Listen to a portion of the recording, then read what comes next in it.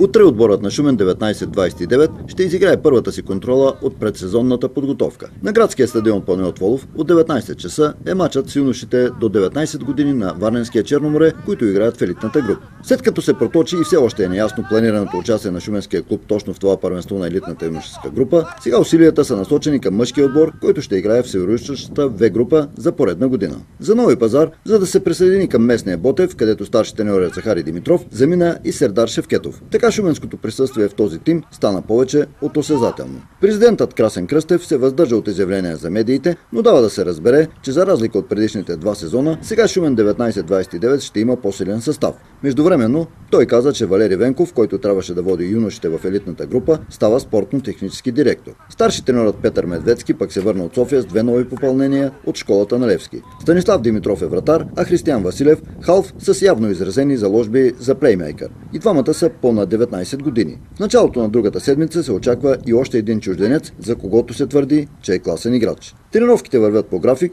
като има и дворазови занимания. Медведски набляга много на различните тактически варианти и ги разиграва търпеливо с участието на точно определени футболисти. Те получават конкретни задачи и многократно биват повтаряни различни ситуации в защита и в нападение. И при разработването на детайлите и по време на двустранната игра, тези игрови моменти трябва да се затвърждават, за да се превърнат в навик. Особено внимание се обръща на тъй важното умение да се освобождават пространства, в които да се търси съотборник. Старши тренерът използва Християн Василев и в ролята на преводач, когато трябваше да обяснява повече на ганаеца Даниел и на нигериеца Поло Тофе какво точно иска от тях. По време на двустранната игра на двете врати се намесваха авторитетно вратарите Стоян Деспотов и Станислав Димитров. Опорните халфове също опитваха да изпълнят исканията на треньора, за да го има преливането от защита в атака. Приятно впечатление на малцината зрители и на специалистите край терена направи играта на Християн Василев. С много движение, с добро владеене на топката и виждане на вариантите за разгръщането на акциите, той дава заложби да изпълнява с успех ролята на плеймейкъра, която като че ли остана свободна миналия сезон.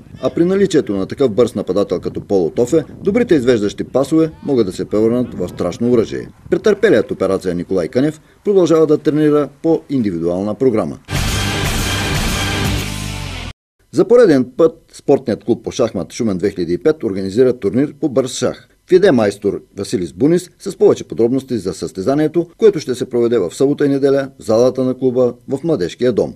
Както всяка година, така и тази година през лятото организираме открит рапид турнир. Това означава открит турнир могат да участват всички шахматисти от цяла България и извън България и съответно от най-малките до най-големите, като са в турнира се провежда по съкратена контрола, затова се нарича Рапид. Дават се 20 минути на всеки състезател да обмисля своите ходове, като един кръг продължава някъде около 40 минути максимум. Турнира ще се проведе в събота на 25 юли. Ще започне сутринта в 10 часа, 10.30, понеже тези открити турнири обикновено в последния момент пристигат и изненадващи така, гости и участници. И ние сме на принципа, спазваме това девиза на Международната федерация Генсу на Сумус, което значи ние сме от едно семейство всички шахматисти и никога някой шахматист дошъл в последния момент не го оставяме нали, извън играта, а го включваме в турнира. Турнира вече доби популярност.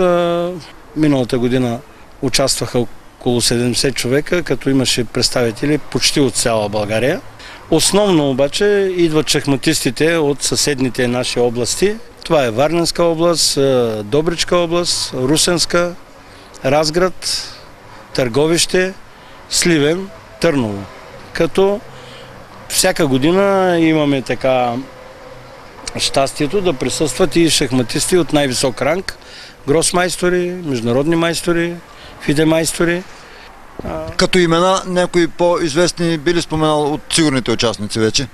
Ами обикновено това е гросмайстор Васил Спасов, международният майстор Валентин Пампукчан, присъстват също фидемайстори от Варна, това е, са майсторите Шишков, Николов, също така Ивайло Енчев, международен майстор от Разград, който е родом и той присъства почти винаги играе в турнира.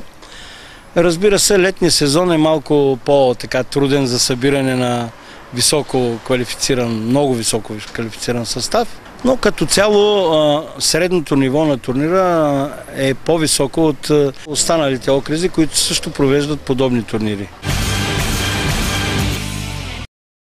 Таз годишното издание на Планинско Осоголо ще щупи личния си рекорд за посещаемост през последните 5 сезона, пише в сайта за новините в българския автомобилен спорт колегата Страшимир Димов. Списъкът на регистрираните за старта в квалификациите тази събота на края на Кюстендилското село Богослов е с имената на 41 пилоти. Тук припомняме, че заявките за планинско българка бяха 52, а рекордът за тази година в планинския шампионат остава на възстановение след дълга пауза Шуменски Мемориал Валерий Великов от тази пролет, който събра на трасето от Шуменския природен парк Кьошковете 55 състезатели. Над преварата в събота и неделя ще бъде възлова за шампионата. По тази причина всички лидери са на лице, още повече, че до финала остават двете класически състезания – Озана и Шипка. Точно преди тях, временните челници ще направят опит в максимална степен да решат класирането за годината. И още едно важно уточнение.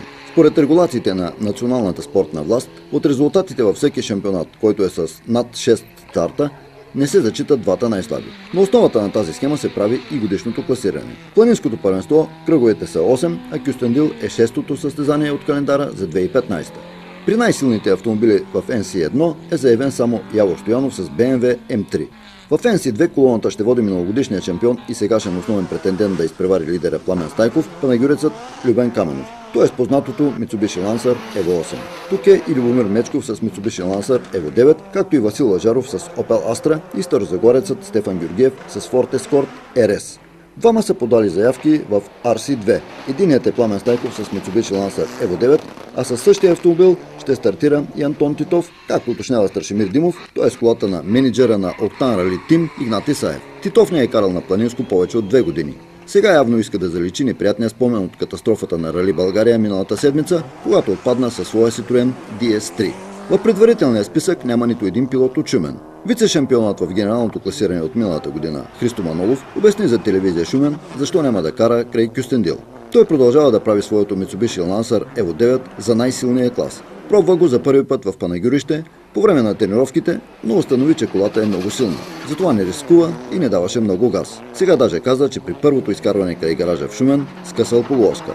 Точно полуоска и карета пилотът е поръчал от Съединените щати, но те все още не са пристигнали. Затова Христо не иска да бърза. При това настоява на всяка цена да направи тестове, след като монтира новите части, за да е сигурен в тях и за да може да свикне с поведението на наистина изключително силния автомобил.